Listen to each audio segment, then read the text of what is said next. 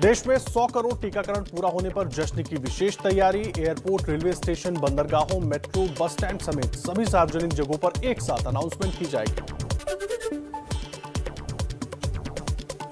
एक अरब टीका लगने के मौके पर आज सुबह साढ़े दस बजे पीएम मोदी, दिल्ली के राम मनोहर लोहिया अस्पताल जाएँगे, फ्रंटलाइन वर्करों से करेंगे बातचीत। केंद्रीय स्वास्थ्य मंत्री मनसुख मंडाविया 100 करोड़ टीकाकरण के लक्ष्य पूरा होने पर एक गीत और एक ऑडियो विजुअल फ़िल्म लॉन्च करेंगे। स्पाइस जेट के विशेष कार्यक्रम में भी हिस्सा लेंगे।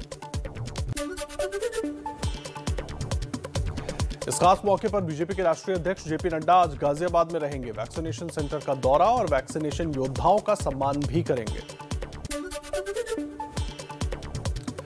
यूपी में रात 11 बजे से सुबह 6 बजे तक लगने वाला कोविड कर्फ्यू खत्म। सीएम योगी के आदेश के बाद सरकार ने जारी किया दिशा निर्देश।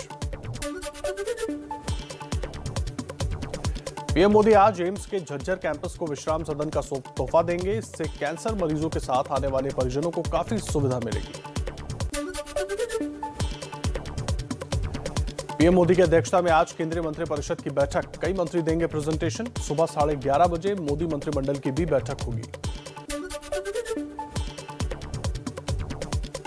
पेट्रोल और गैस की लगातार बढ़ती कीमतों पर एक्शन में सरकार, प्रधानमंत्री मोदी ने दुनिया की बड़ी तेल और गैस कंपनियों के प्रमुखों से चर्चा की। यूपी विधानसभा चुनाव साथ लड़ेगी समाजवादी पार्टी और सुहेलदेव समाज पार्टी। लखनऊ में ओपी राजभर ने अखिलेश यादव से मुलाकात की। 27 अक्टूबर को मऊ में साझा रैली। मुलायम सिंह यादव की छोटी बहू अपर्णा यादव ने एबीपी न्यूज़ पर सीएम योगी आदित्यनाथ की तारीफ़ की, कहा, कोई अच्छा व्यक्ति ही 2022 में यूपी का सीएम बने। कुशीनगर में पीएम मोदी का समाजवादी पार्टी पर निशाना, कहा यह समाजवादी पार्टी नहीं, परिवारवादी है, माफियावादी है। अब योगी राज में माफ़ी मांग रहे हैं माफिया। कुशीनगर को पीएम मोदी का इंटरनेशनल एयरपोर्ट और मेडिकल कॉलेज की सौगात। मोदी ने बौद्ध मंदिर में लेटे हुए बुद्ध की परिक्रमा की, परिसर में बोधि वृक्ष भी लगाया। पीएम मोदी के इंटरनेशनल एयरपोर्ट के उद्घाटन पर अखिलेश यादव ने तंज कसा, कहा, एक ईंट नहीं लगाई और फीता लेकर आ गए सीएम योगी बोले, हमने काम किया तो फीता भी हम काटेंगे। यूपी के आगरा में पुलिस कस्टडी में सफाईकर्मी अरुण वाल्मीकि की मौत, परिवार के आरोप पर पाँच पुलिसकर्मी सस्पेंड, सरकार का 10 लाख रुपए मुआवजा और सरकारी नौकरी देने का ऐलान। कांग्रेस महासचिव प्रियंका गांधी ने आगरा जाकर पीड़ित परिवार से मुलाकात की, न्याय दिलाने का भरोसा दिया, पहले पुलिस ने प्रियंका को हिरासत में लिया था। प्रियंका गांधी ने लखनऊ से आगरा जाते समय रास्ते में घायल लड़की को देखकर रुकवाया काफिला, अपने हाथों से मरहम पट्टी की।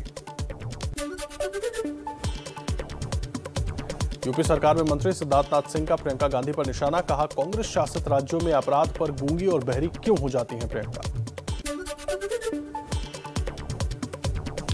वाल्मीकि जयंती पर दिल्ली में शोभा यात्रा में शामिल हुए कांग्रेस सांसद राहुल गांधी बोले, देश में एससी समुदाय के लोगों को टारगेट किया जा रहा है। हरीश रावत की कांग्रेस आलाकमान से पंजाब के प्रभारी की ज़िम्मेदारी से मुक्त करने की अपील, कहा उत्तराखंड विधानसभा चुनाव पर ध्यान देने के लिए ज़रूरी है। और आइए राजनीति से जुड़ी हुई कुछ और खबरों का रुख कर लेते हैं। फटाफट अंदाज में आपको बताते हैं।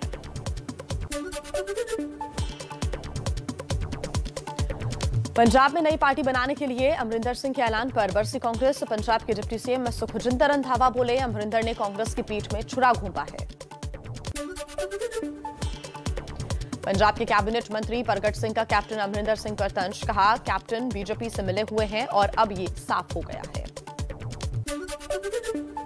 अकाली दल की नेता हरसिमरत बादल ने कैप्टन अमरिंदर पर साधा निशाना बोली, कैप्टन 2017 से ही बीजेपी से मिले हुए हैं। उनके कहने पर बीजेपी ने पिछले चुनावों में अपना वोट कांग्रेस को डलवाया था। दिल्ली में किसानों को केजरीवाल सरकार की बड़ी मदद, सीएम अरविंद केजरीवाल बोले, जिनकी फ़सल खराब हुई है, उन्हें प्रति हेक्टेयर पचास पचास हज़ार रूपए मुआवजा मिलेगा। जम्मू कश्मीर के शोपिया में आतंकियों से मुठभेड़ के दौरान एक जवान शहीद, दो घायल, देश में फिर उठी बलिदान की बदले की मांग। जम्मू कश्मीर में पुलिस को बड़ी कामयाबी, पुलिस ने लश्कर के एक आतंकी को गिरफ़्तार किया, पाकिस्तान का हैंड ग्रेनेड बरामद, आतंकी से पूछताछ जारी। कश्मीर टारगेट किलिंग मामले में एनआईए ने श्रीनगर, बारामूला, पुलवामा, अनंतनाग समेत 11 जगहों पर मारा छापा। आतंकी संगठनों से संबंध रखने वाले चार लोग गिरफ़्तार। इस महीने आतंकी 11 आम नागरिकों की हत्या कर चुके हैं। जम्मू के पूंछ में आतंकियों से चल रहे एनकाउंटर का आज ग्यारहवा दिन। सुरक्षा बलों की अतिरिक्त टुकड़ियाँ भेजी गई।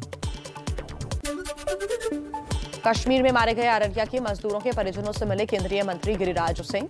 पाँच लाख रुपए की आर्थिक मदद दी। पाकिस्तान की कायराना हरकत का बदला लेगा भारत।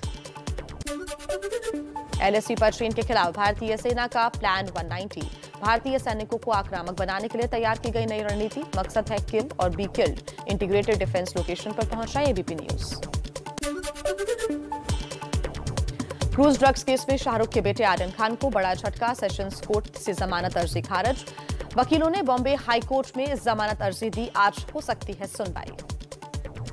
अपराध से जुड़ी कुछ और अहम खबरों का रुख कर लेते हैं। फटाफट अंदाज।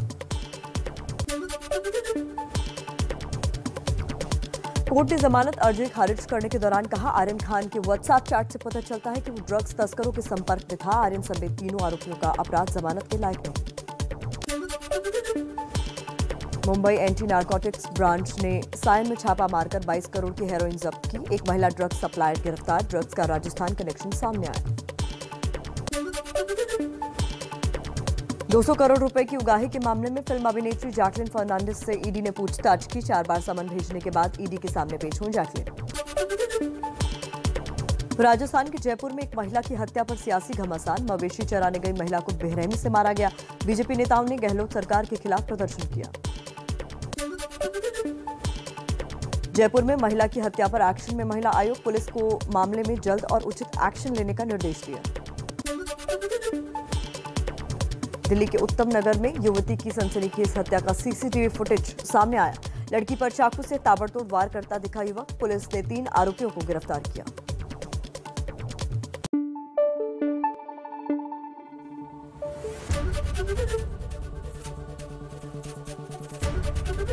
एबीपी न्यूज़ आपको रखे आगे।